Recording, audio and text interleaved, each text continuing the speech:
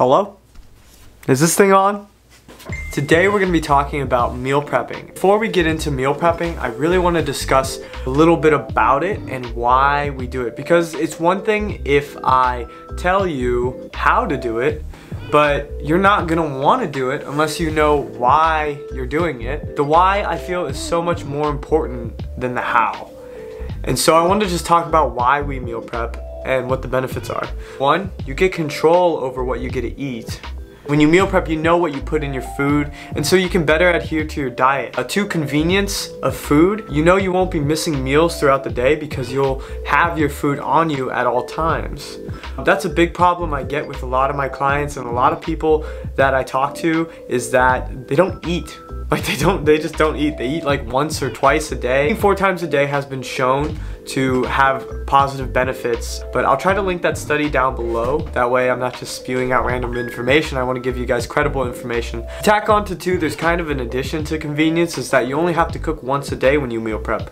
Um, sure, you might microwave some of your food later on, but really you only cook once in the morning or once in the afternoon and you have all your meals for the day. So meal prepping is a great tool that can really help an individual take control of their health and take control of their diet.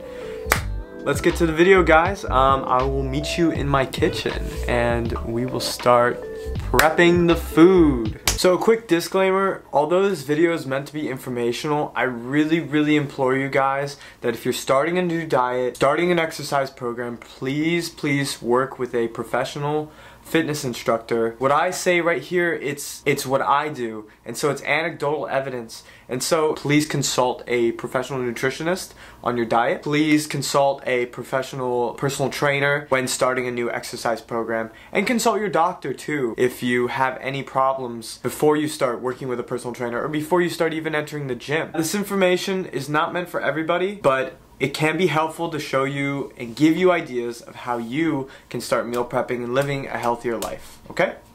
Let's get to the video. This is what I do every morning. Every morning I wake up and the first thing I do before I even start meal prepping is I'll come over here to this table and I'll sit down real quick, right? I'll go on my phone and I use, if I can do it, I use something called MyFitnessPal. Now, a lot of you are, I'm sure, are aware of this. So I'm on a really heavy bulk um, of about 3,400 calories. Plenty of uh, calculations and formulas you can use to, to figure out how much calories you need to be eating. Um, I'm not really gonna get into that. Um, I'm just gonna start with just the basics of how to meal prep and such. So, I'll come and I'll track everything that I eat today um, right here. So I'm gonna do this. And I will get back to you once I've tracked everything that I eat. Guys, so real quick, I just want you guys to see that I have hit my macros for the day. Um, well, I will once I eat, but basically I measure everything out before in this calculator to make sure all my measurements reach my macros and hit my calorie count and then this is like all the measurements for the day. So one table, I'm only gonna use one tablespoon of olive oil, um, half, a, half a can of black beans, just regular black beans, um, nuts and almonds, that's gonna be my main fats for the day, and then a ton of rice, ton of chicken, and then um, I don't track my vegetables. Um, you're welcome to, I just don't. Um, I just eat a lot of vegetables, that's kind of how I do it. We're gonna get started on the food, and I'll see you then. Alright guys, so I got my daily shake here. Got one cup of frozen berries. Alright, and then we have about give or take two cups of almond almond milk right here. Um, unsweetened, by the way, really important. Want to reduce those sugars as much as you can. One cup of quick cooking oatmeal in this. I like the oatmeal, it gives me a good burst of energy. It's part of my carbs for the day.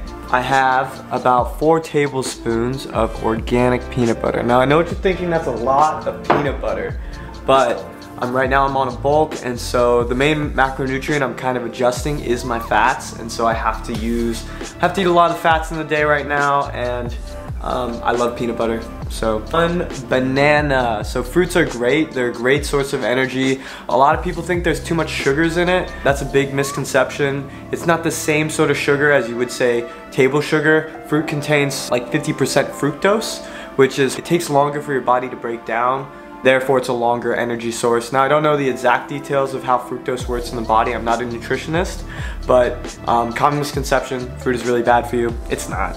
Every day I have a shake and it's delicious and I'm really hungry, so I'm gonna drink it right now.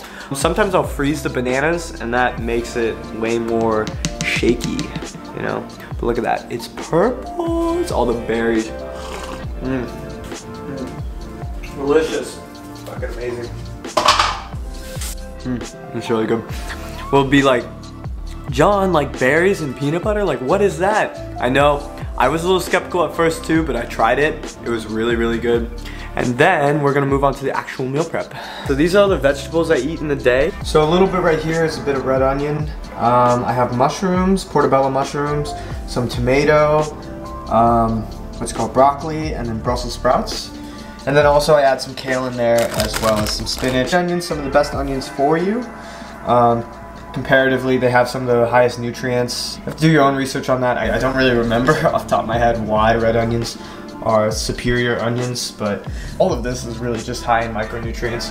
When it comes to vegetables, it's just the more variety, the better, the more color, the better. That way you get a larger variety of micronutrients.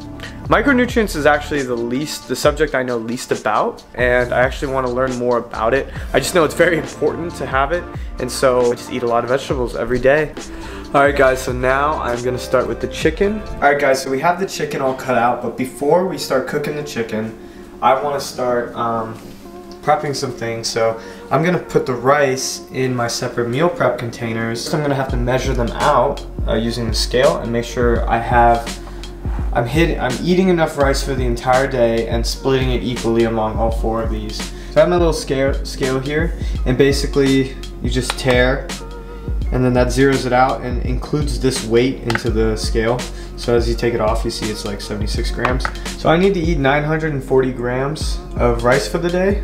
So I'm just gonna type 940 divided by four and then we get 235. So each one of these meal prep containers should have 235 grams of rice in them. That way I'm eating enough and I'm splitting it equally among the four containers. A lot of you might be asking yourself, well, why, why four? Like, why do I eat four times a day or at least five times a day? Studies have shown that about four times a day has been proven to be beneficial. We have research that shows that four is good, and so that's why I'm eating at least four times a day. But I've seen people eat up to five, six times a day. I used to eat six times a day, but I find that four and five times a day really work for me the best, so. All right guys, so now I'm just adding this black beans. as uh, black beans and water. That's all it has. Um, very low sodium content. It's just regular black beans. That's all I wanted. Um, so I'm only gonna use half the can. I'm trying to keep my fiber a little lower. And so I'm just gonna use half a can here. Try and split up a little evenly. Fail to split it up a little evenly. And that's about maybe half a can. And then I'll store the can for later. Uh, next we're gonna prepare some chicken and then we're gonna fry up the veggies and then we'll be all done with the meal prep. Oh, and then we'll add the almonds because I need to do that. And then we'll be done with the meal prep.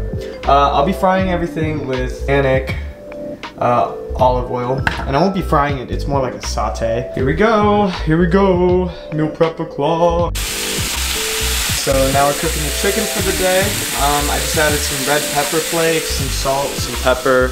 We're just gonna have that chicken cook and then once we're done with that, then we are going to measure it all out.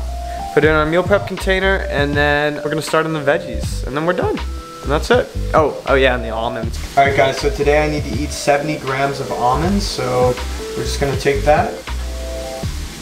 All right, same thing, 70 divided by four, 17.5, so about 18. I like to round up a little bit since I'm in a bulk. All right, so we're just gonna grab the almonds here. These are the sort of skills that bloggers don't tell you about, is like, you need to know how to do things with one, like one-handed. Anyways, all right, so we're just gonna pour this in here. Oh, Those are paper clips. Okay, yeah.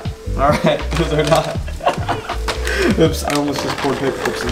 All right, so now we're just gonna get up to 18. More. Sometimes this thing likes to be a little strange.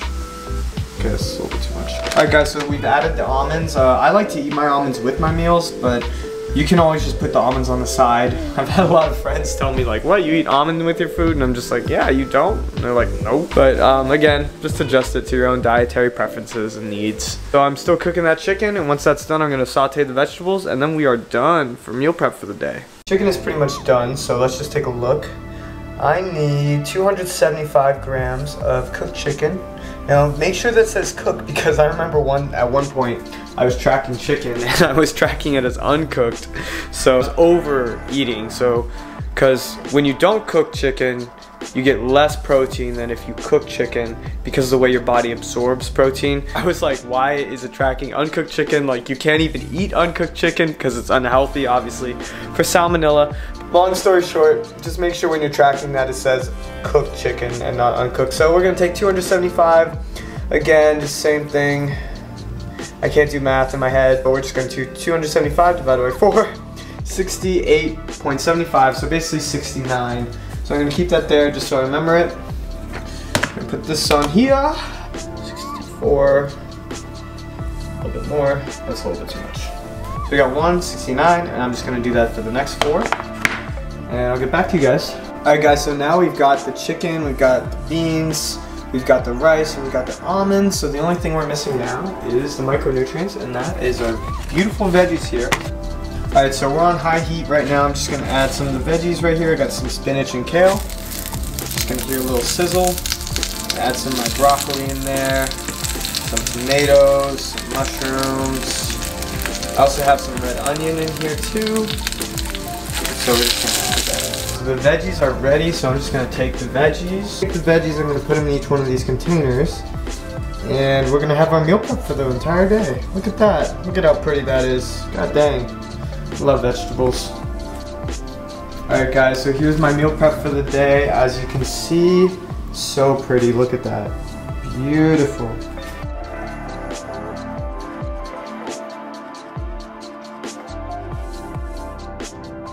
So now we're just gonna put the lids on. One-handed skills. I'm on the go a lot because I go to school. And so I don't really have access to like a fridge or anything, but if you have, if you go to work and you can have access to a fridge, then maybe use that. Um, I like this box because I can take with me wherever I go. Yeah, but I just put the ice pack in between right here.